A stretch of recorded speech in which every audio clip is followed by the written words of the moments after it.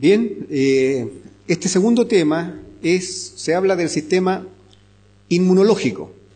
Y obviamente, como, como lo mencionó Nimer recién, eh, cuando Dios creó al hombre, dijo que era, todo era bueno en gran manera. Y yo quiero eh, leer, digamos, dos, dos textos antes de este tema. El primero está en Éxodo 15, 26, que dice así, y dijo, si oyereis atentamente la voz de Jehová tu Dios, e hicieres lo recto delante de sus ojos, y dieres oído a sus mandamientos, y guardares todos sus estatutos, ninguna enfermedad de la que envié a los egipcios, te enviaré a ti, porque yo soy Jehová, tu sanador. existen entonces, existen leyes, existen estatutos, existen dichos de Dios, que si nosotros los obedecemos, vamos a tener mejor salud. Y también eh, Nimer mencionó recién el tema del azúcar, ¿ya? Y también hay un texto eh, que habla acerca de esto. Esto está en, en Eclesiastés 10,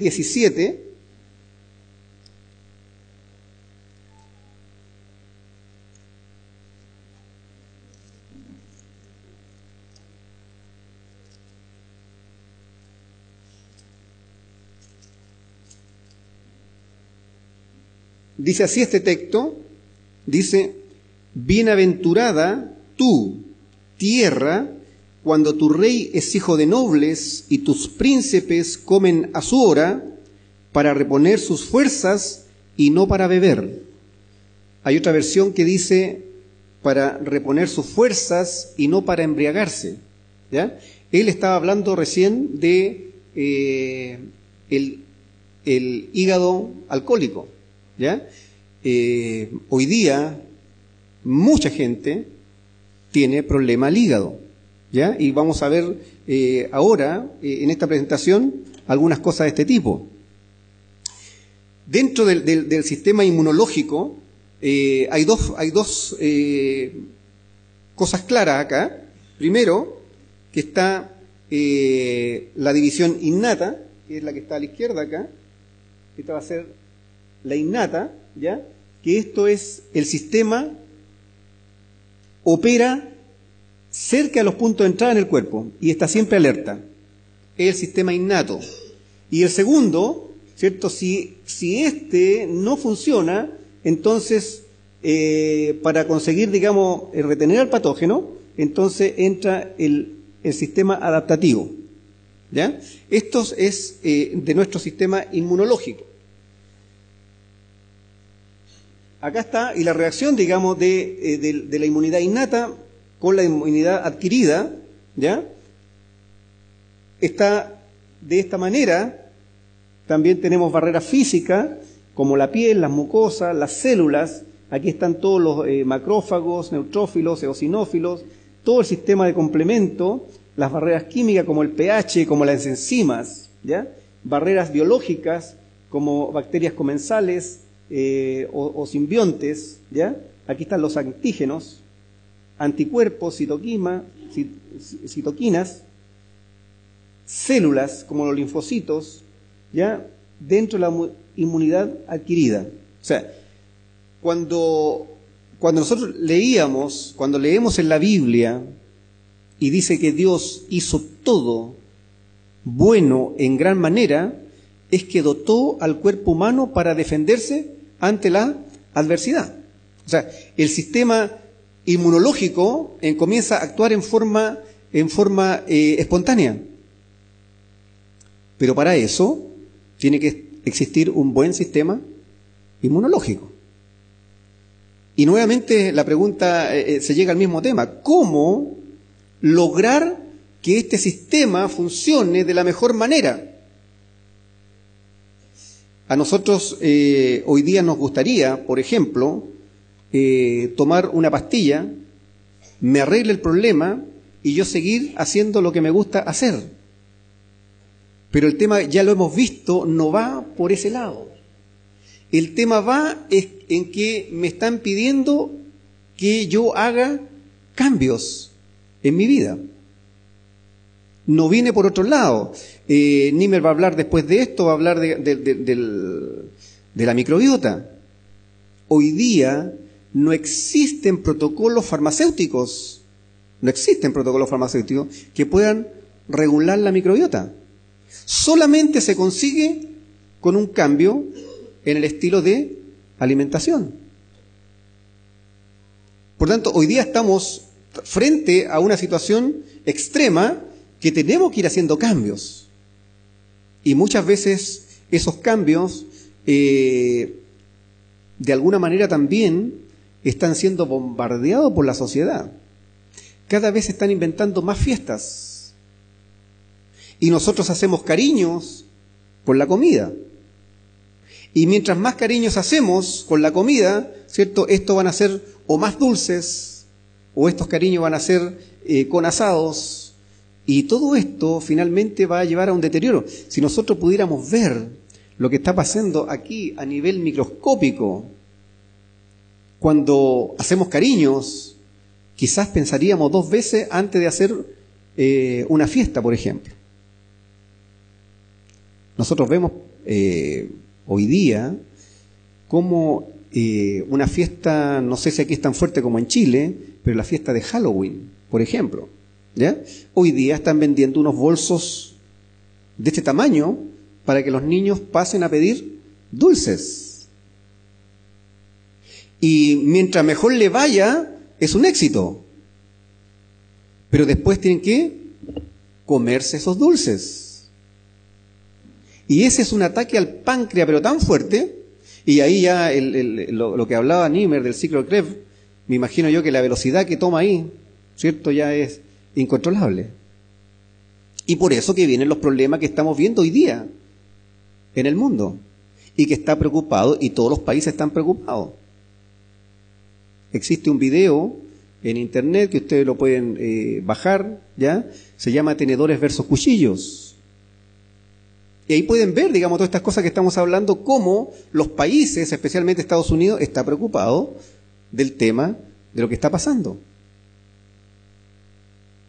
Pero aún tenemos en nuestras manos la solución. Y en esto tenemos que hacer equilibrio. Y para eso hay que también eh, hacer un sacrificio no siempre lo que es más sabroso a nuestro paladar es lo que nos hace mejor.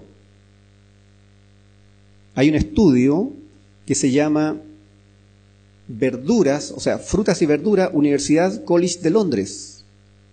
En ese estudio, ¿cierto? Que se hizo entre el año 2011 al 2013, o sea, 12 años de estudio, eh, se dieron cuenta que la Organización Mundial de la Salud había quedado corta en el consejo de decir que consumiéramos cinco porciones diarias entre frutas y verduras. Y ellos en ese consejo están diciendo que tenemos que consumir entre siete y diez porciones diarias entre frutas y verduras. Y que una porción de fruta previene un 4% de las enfermedades, en cambio una porción de verdura la previene un 13% de las enfermedades. Pero al paladar es más sabrosa la fruta. Entonces, si nosotros hacemos este balance, por lo menos 4 a 1, ¿ya?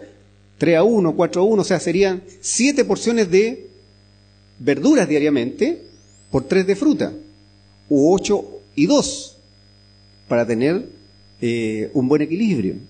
Y que la fruta congelada aumentaba en un porcentaje las enfermedades. Y hoy día hay estudios que están diciendo ojo con el extracto de fruta. Porque también esa, esa, esa eh, eh, fructosa va directamente, digamos, al hígado. Entonces, son cosas que hoy día no están hablando, la ciencia no está hablando. Acá tenemos entonces cómo está operando, aquí están los órganos del sistema inmunitario, ¿ya? Que está a través, digamos, de todo nuestro, de todo nuestro cuerpo, ¿ya? el sistema inmunitario. Y por lo tanto, nosotros tenemos que ahora eh, saber cómo mantener este sistema inmunológico en buen estado.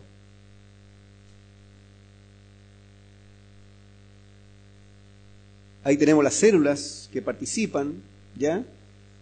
Célula madre linfoide, célula madre eh, pluripotencial, célula madre mieloide, las células T, células B, los eosinófilos, los basófilos, los neutrófilos, los monocitos, ¿ya?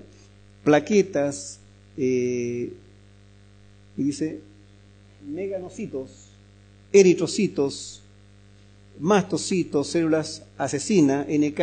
O sea, nuestro sistema inmunológico, cómo todas ellas van a actuar en el momento preciso. Recuerden, el primer sistema, ¿cierto?, actúa inmediatamente en los sistemas más cercanos a la frontera, en la piel. Y después, cuando falla eso, opera el segundo. Y ahí tenemos más, más, más cerca, ¿cierto?, los linfocitos, los monocitos, los granulocitos, linfocito entre eritrocito, aquí hay uno, y también las inmunoglobulinas. Ahora, todo esto uno lo puede obtener, primero, la primera parte la puede obtener de un, de un hemograma simple, ¿cierto? Ahí en el hemograma simple van a venir las células, eh, tanto glóbulos blancos, glóbulos rojos, plaquetas, ahí viene la hemoglobina, ahí viene también eh, el hematocrito, ¿ya? Y viene toda la fórmula leucocitaria. La fórmula leucocitaria, ¿cierto? Va a tener siempre una suma de 100. Por tanto, algunos van a aumentar, otros van a bajar. Pero nos va a ir diciendo cómo está el sistema. ¿ya? Si está dentro de los parámetros normales o no. Y eso nos va, a ir, va a ir indicando claramente. O sea, los glóbulos rojos, si está dentro del promedio, ¿cierto? La persona va a ser sana. ¿Por qué? Porque así también lo dice la Biblia. La Biblia dice, en Levítico 17, versículo 11, versículo 14, que la vida de una persona está en la, en la sangre. Por lo tanto, nuevamente aquí entra eh, eh, eh, el tema de ¿Cómo conservar entonces la, la, vida? Manteniendo buena la, la sangre. Glóbulos rojos con un tamaño que sea el indicado. Y si el tamaño es el indicado, por lo tanto me interesa que no haya una dispersión más alta, digamos, de ese tamaño. Entonces ahí hay otro examen que se llama el RDW, ¿cierto? Que es la dispersión del tamaño del glóbulo rojo y ese tiene que también estar dentro del promedio que la ciencia hasta hoy día, ¿cierto? Va, eh, va nos va entregando. Y con esos dos podemos decir, oye, ¿cómo está la salud? Con la forma leucocitaria vamos a decir cómo están nuestras defensas. Y son cosas que nos van entregando los papeles. Y nosotros no podemos mentirles a nuestros exámenes. Le podemos mentir, digamos, ¿cierto?, al, al, médico en lo que hacemos, pero el examen me va a decir realmente lo que yo, lo que yo tengo. Y dentro de las, de las inmunoglobulinas está la IgE, ¿ya? Que esta es la más abundante y se forma después de la IgM persiste al desaparecer el AG. Tiene una estructura y las funciones atraviesa la placenta y proporciona defensa al recién nacido. O sea, inmediatamente, digamos, comienza el sistema a actuar. Neutraliza las toxinas y fija el complemento. Opsoniza microbios patógenos, o sea, los ¿cierto? Los, apunta, ¿cierto? Los marca para eh, poder después eh, fagocitarlo. El IgM es la primera en aparecer después en la respuesta humoral. Ahí está la estructura. Su presencia está confinada en el torrente sanguíneo, del que no puede salir por su elevado peso molecular. Y las funciones es un aglutinante, hemaglutinas A y B, citolítico, fija el complemento y actúa también como receptor de la membrana de los linfocitos B. Está el IgA, aparece en el suero, en las secreciones seromucosas, saliva, lágrimas, fluidos nasales, colostros y secreciones del tracto digestivo, respiratorio y urogenital, ¿sí? estructura, es un monómero o un dímero, funciones, actúan como defensa de la superficie externa del organismo y no fijan el complemento. El IgD, dice, permanecen unidos a la superficie de los linfocitos B, donde probablemente actúan como receptores antígenos junto al IgM. Y el IgE está asociado a la membrana de, mastocitos y basófilos estructuras, monómeros, funciones, al contacto con un AG suele ser un alérgeno o alergeno, produce la degranulación del citoplasma, vertiéndola al, vertiéndola al exterior la histamina y otras sustancias responsables de la inflamación, síntomas de alergias. esto aquí estamos hablando de eh, sistema inmunológico, ¿cierto? Glóbulos blancos, el sistema de la defensa. O sea, si nosotros no tenemos una buena defensa, estamos expuestos a las enfermedades. La ciencia ha ido avanzando. Eh, hasta hace poco, ¿cierto? No, no se hablaba mucho de la microbiota. Hoy día sí se habla mucho de la microbiota, ¿ya? Y se habla que es un órgano más, de esto habla Nimmer, ¿ya? Y que tiene que ver con el sistema inmunológico. Entonces acá tenemos nosotros, lo primero, que en el intestino, en el intestino, el 80% del sistema inmunológico está en los intestinos. Por tanto, la salud, ¿cierto?, del intestino es clave.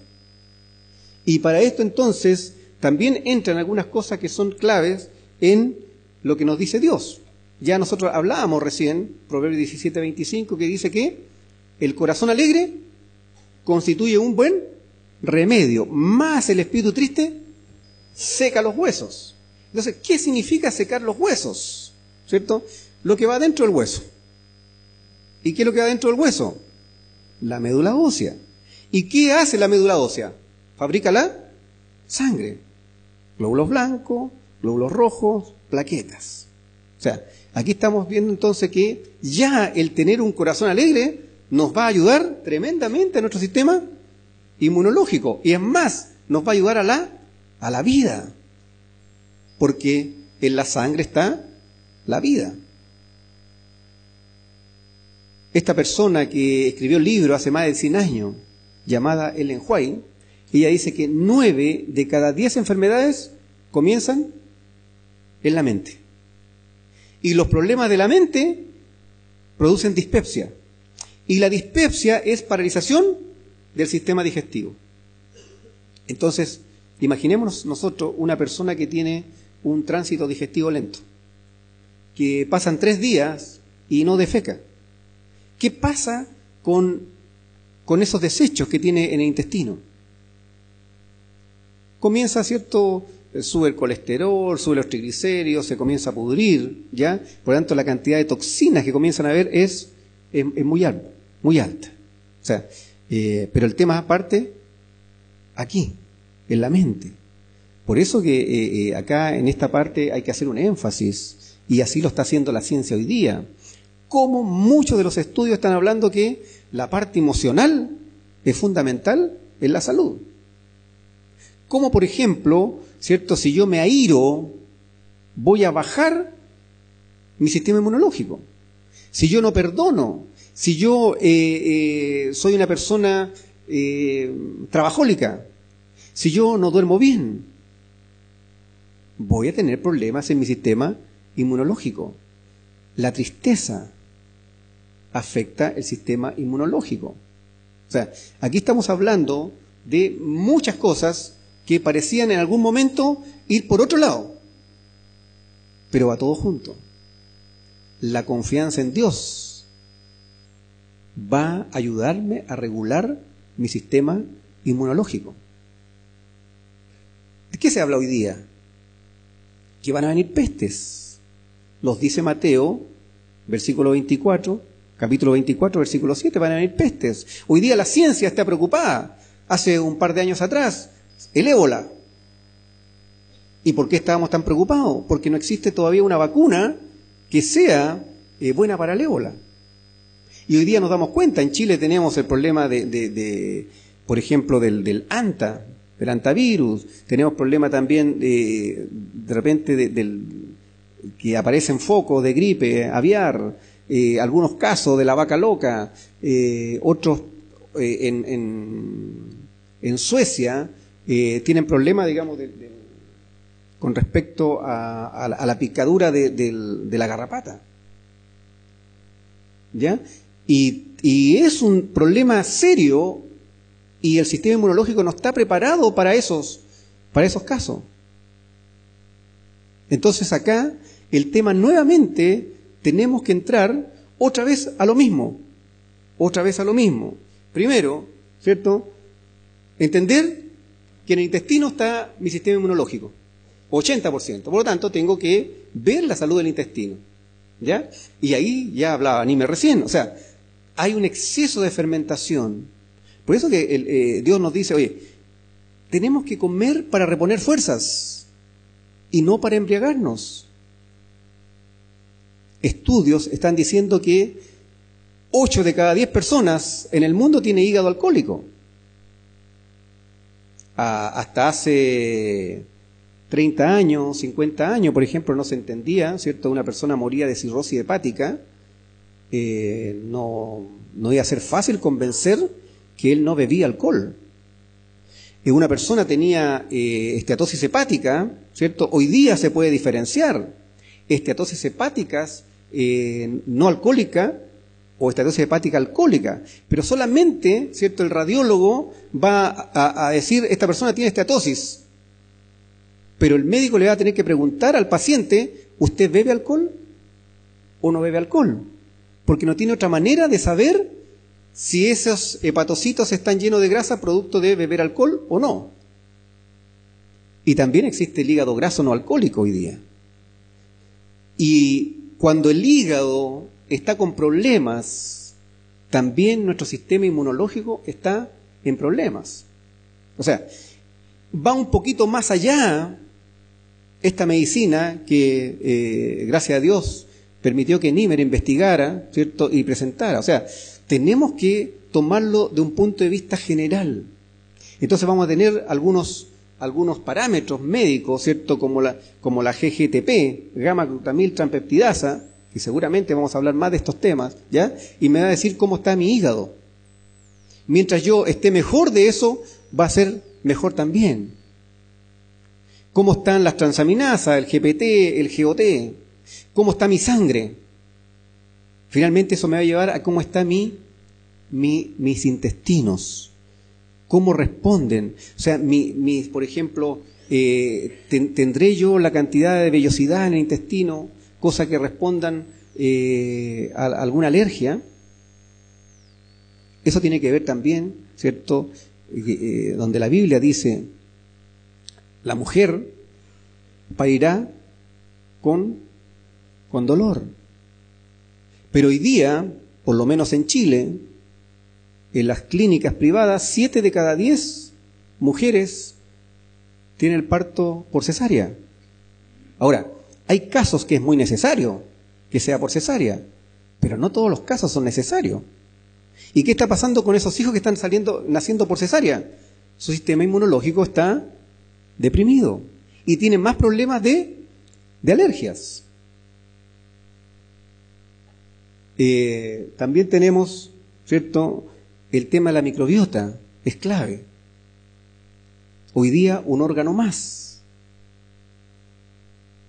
El hígado, la fermentación, es clave para lo que nosotros estamos hablando en, estos cuatro años que me ha tocado trabajar en este tema, he visto cómo personas se han ido recuperando al cambiar su estilo de vida. Y pareciera ser que esto es eh, como de niños. Pero ¿cómo? Al cambiar, digamos, esto va a cambiar eso otro que es tan complejo.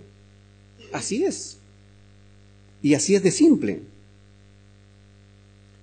Por eso que normalmente vamos a entrar siempre en cada cosa de la que hablemos. Tenemos que entrar en las leyes de Dios. Recuerden, no se olviden de este versículo. Éxodo 15, 26. Si nosotros obedecemos las leyes de Dios, vamos a tener más salud. Y aquí están las leyes naturales. Pero también están las leyes fisiológicas. Ya hablamos del código genético. O sea, si se desnivela, también tenemos problemas. O sea, estamos hablando de temas que son hoy día son preponderantes, pero están al alcance de nuestra mano. Pero ¿cuál es el problema? Que la sociedad nos está empujando a no obedecer estas leyes. ¿Por qué? Porque es más fácil, no tengo tiempo para preparar eh, comida, no tengo tiempo para comer tanta ensalada, por ejemplo. Recuerde, en cada, en cada comida, para que me vaya bien, debo comer la mitad de verduras. La fruta la debo consumir preferentemente sola. ¿Por qué razón? Porque si yo hablo de un plato completo, donde tengo 50% de verdura, 30% de cereales y tubérculos y 20% de proteína, y a eso como postre, como fruta, entonces se me produce un exceso de fermentación. Y eso va a actuar directamente sobre el hígado. Y si mi hígado no está bien, ya una de las funciones, de las más de mil funciones que tiene que cumplir el hígado, ya comienza a también a estar mal. Cosas simples. Por eso que Niemer eh, tiene, eh, tiene eh, cierto la frase cliché o, la palabra cliché fácil. Pero en la práctica no es tan fácil. No es tan fácil. La Biblia habla de apetitos y pasiones. Y que eso nos va a llegar hasta el fin, apetitos y pasiones. Entonces, hoy día lo que está pasando es que mis apetitos y pasiones están controlando mi voluntad. Mis apetitos y pasiones están controlando mi raciocinio. Yo no pienso antes y llego y, ¿cómo? No pongo en la balanza. Entonces, ¿cuál sería la mejor manera de que mi voluntad controlara mis apetitos y pasiones?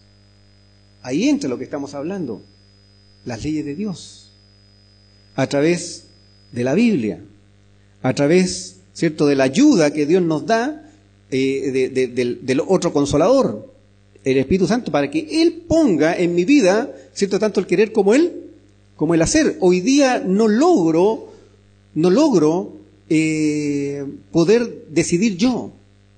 Está ya probado, ¿cierto?, que las bacterias en mi eh, intestinos deciden qué debo comer y qué no debo comer. Rara vez, por ejemplo, un, por ejemplo, un antojo de una mamá que está eh, esperando bebé, ¿cierto? Raramente va a ser de un plato de verdura. ¿Sí? Siempre, digamos, es dulces, chocolates, grasas, que son las bacterias lo que están pidiendo. Y ellas mandan mensajes a través, hoy día se sabe, el intestino, el segundo cerebro.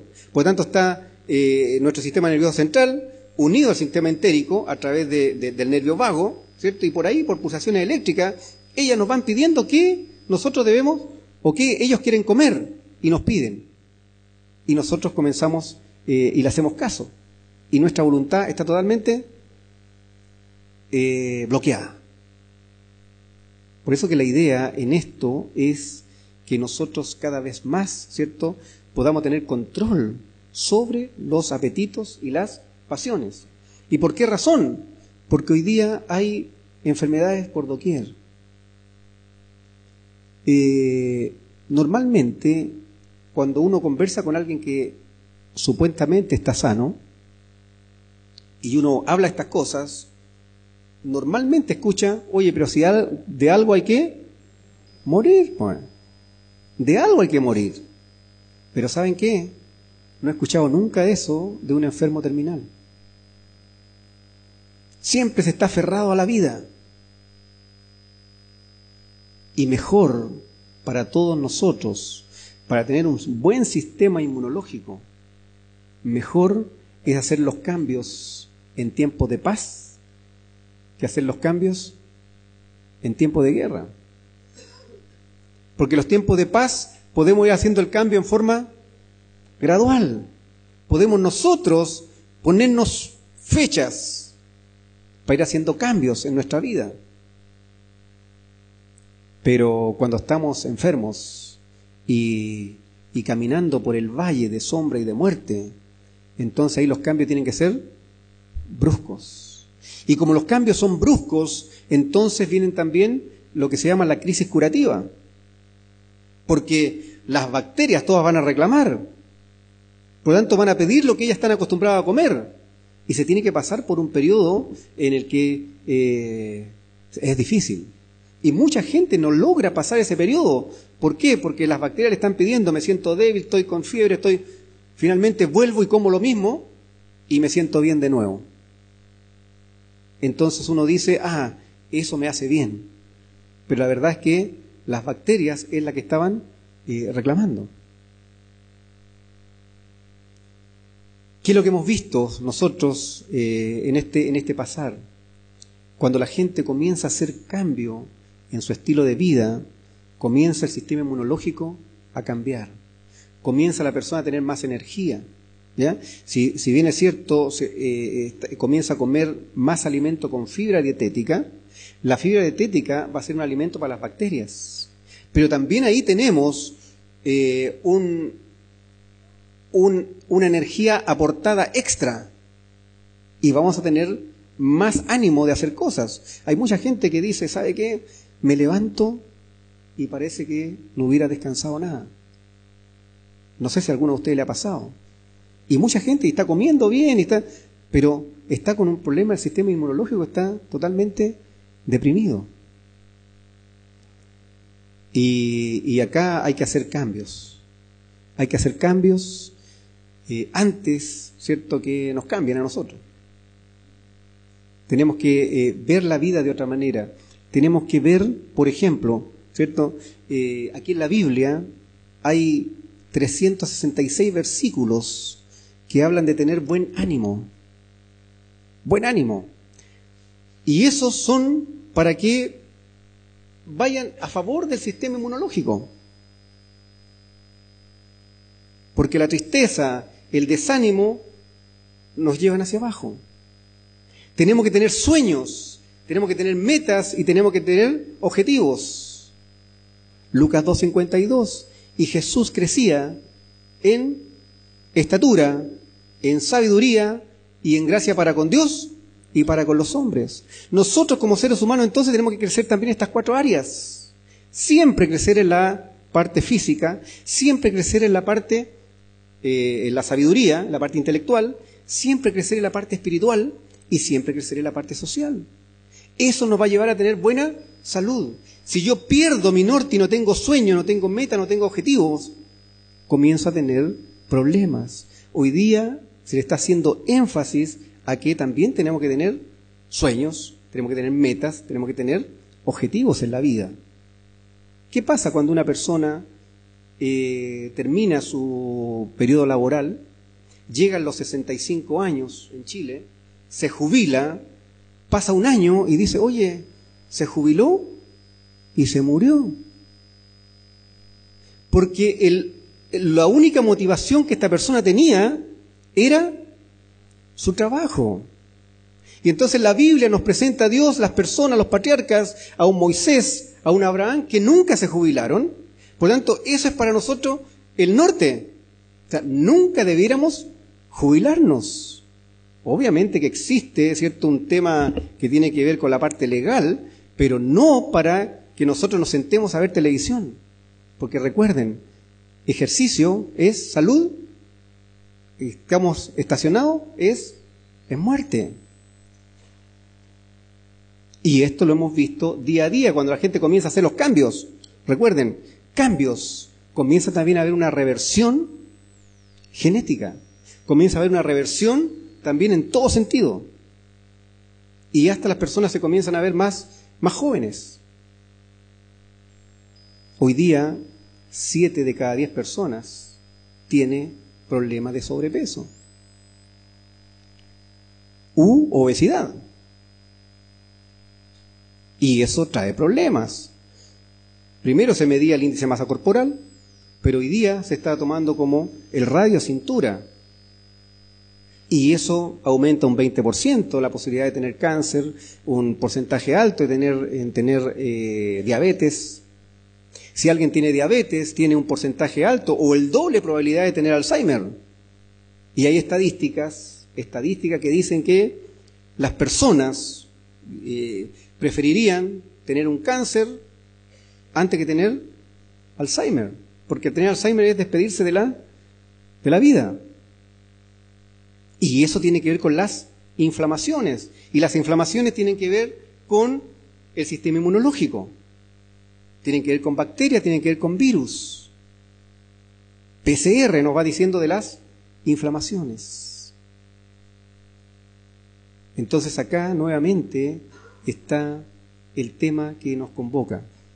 ¿Cómo yo puedo mejorar mi sistema inmunológico? Otra vez entra aquí la dieta plana. La dieta plana yo prevengo. O sea, si estoy enfermo, traigo mis análisis, se ve el caso a caso, se hacen ajustes a los nutrientes, mejora, ¿cierto? El que siempre lleva eh, el médico de cabecera, el que siempre va a llevar eh, el diagnóstico, el que siempre le va a decir, y él lo va a dar de alta. Si lo da de alta, entonces su paso a seguir es mantener la dieta plana. Porque con la dieta plana va a estar totalmente equilibrado, pero además tiene que ser con el, eh, tiene que ver con todo un estilo de vida nuevo. La persona tiene que nacer de nuevo. Fíjense, fíjense, esto tiene que ver con lo que Dios dice en la Biblia. Tienes que nacer de nuevo. Ver la vida de otra manera, ser más feliz. La vida es para ser feliz y poner pasión en lo que estamos haciendo. Ese es el tema de hoy.